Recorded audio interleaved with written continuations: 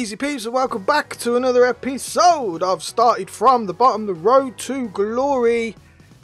Futties should start today. This video is being recorded before any information has actually dropped about Futties, but there was that leak on the dash of uh, FIFA where it said that Futties would start today. So hopefully, hopefully some things and some madnesses drop. However, let's have a look back at when Futties was absolutely superb and I just hope they bring something back like this rather than do it how they did it last year and then they kind of force you to still play a DKT. Look at what they did for FIFA 16. If you don't remember what they did for FIFA 16, then this is what they did. They did an online tournament and you could win it multiple times. Multiple times. You had 10 attempts. If you won it first, first time you got uh, Konoplyanka, who was the most traded in FIFA 16. And then if you won it again, you got a special Aubameyang who had the most goals in FIFA 16. And if you won it again for a third time, you got a FIFA 17 cover vote winner, which was Marco Reus. Look at those cards, absolutely stunning. And then any wins after that, you got yourself a mystery pack. That was for online. And then offline, if you got your first win, you got a gold players premium pack and then future wins after that you got premium coins pack minimum of 4000 coins in a pack. So it's a pack with coins in it. Now those rewards are absolutely stunning Something like that makes you want to come onto the game, makes you want to consistently play it, makes you want to drive through, makes you it just makes you want to play FIFA.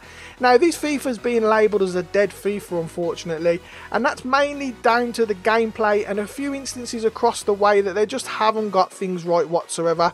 They've kind of forced esports even more this year and kind of pushed away more of the casual player to cater for the pros and then the pros just go, well, I don't want to play your game either. And now the pros obviously are starting to play it now because you've got the championships coming up in August.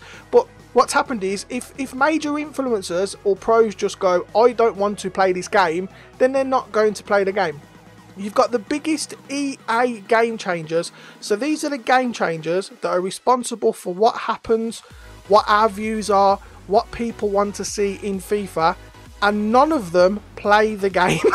so what is that telling you? You've got a couple of the big YouTubers, obviously they still release videos, but if you look at the couple of the bigger ones, their videos are either drafts, which are just easy to do in terms of content, you can bang three or four in a day and then that's your week's videos, or pack openings which take absolutely no thought, just piling money on, or just literally a few FIFA myth videos here and there, which isn't actual gameplay. None of them play FUT Champions. None of them grind divisions. The main people that do the well-known RTGs, a couple of them have just completely stopped playing FIFA altogether. They've now moved on to Fortnite and stuff like that. And it's because it just feels just forced upon you. If something like this was back in FIFA 18, where it'd make you want to grind, it'd make you want to try and get something, that'd be absolutely fantastic. Now, unfortunately, Again, one of the problems with the latest iterations of FIFA is there's just too many special cards. If you look at somebody like Salah, if you look at somebody like Mbappé, they've got what 13 special cards, and there's not a difference between. Once you get to the let's let's use uh, Mbappé for example, or even Salah. Once you get to like a 92 or a 93, the 94 isn't really worth the extra one upgrade, then the 95 isn't worth the extra one upgrade really, then the 96 isn't, then the 97 isn't, then the 98 isn't.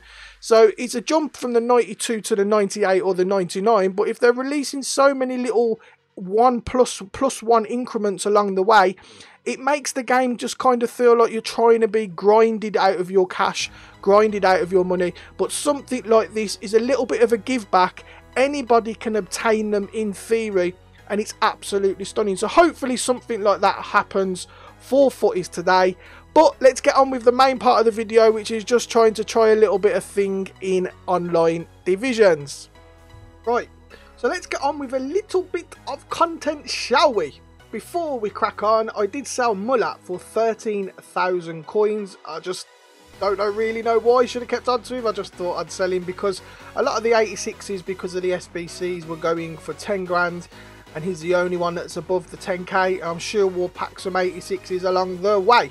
Right, so this is the team that we usually go with in terms of formation. So we usually go with a 4-1-2-1-2 version 2. Some instances we do go with uh, 3 up front.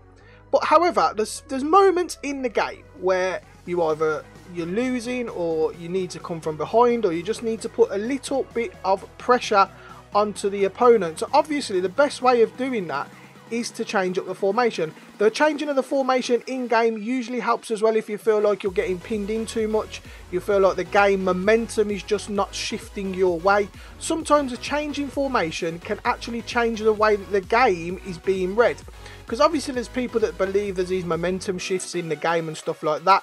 And if your back's against the wall, there's nothing you can really get out of it apart from really changing formation. So what we usually do is we go to a 3-4-2-1. So by playing three at the back, you've got a lot more options in being able to go forward. Now that works great for me in game changing it around about the 60 to the 70th minute to be able to put pressure on the opponent, confusing me, wonders where all these players are coming from and stuff like that. However, it got me thinking, if it plays so well in the 60 to 70th minute, how will it play if you actually play this from the beginning of the game? I don't usually rock a three formation. Uh, obviously, you know, your brain tells you that playing three at the back from the get-go, you're going to get you know, you're going to get a lot of players in behind your defence. You're going to concede a lot of goals. However, will that be offset by the fact you've got so many players going forward? Of course, you end up conceding X amount of goals in FIFA as it is, so we decided to do a Division 1 run. Now, I'm only going to show you two games. Like I said, this I did end up doing a Division, a whole Division 1 run but I'm only going to show you a couple of games just for time purposes really. Otherwise the video will end up being about a 45 minute video and nobody wants that in July do we people? So first game up you can see we're playing a decent team a decent player. We're in division 1 so this is the best that the game can offer you on a weekly day-to-day -day basis.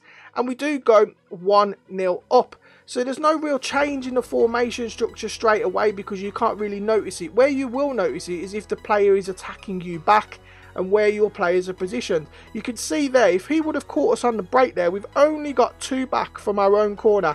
And that sometimes happens when you're playing four at the back, but if with the 4-1-2-1-2 formation, you've usually got the CDM, in our case, Ndidi. So that gives us like a three at the back kind of option, whereas this three at the back is really only giving us two from our own corners. But luckily, the attack with the, the pressure we managed to apply on the attack against this really good player and a really good team, we managed to go 3 0 up just before the 60th minute, and we eventually won that game 4 0.